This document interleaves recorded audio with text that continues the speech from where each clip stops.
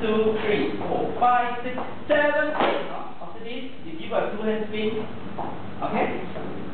Then your hand position. You do like a one, two, three, four, five, six. This is cross shoulder spin. Then you do one, two, three, four, five, six, seven, eight. And give a spin. Okay? Then third, uh, link to basic.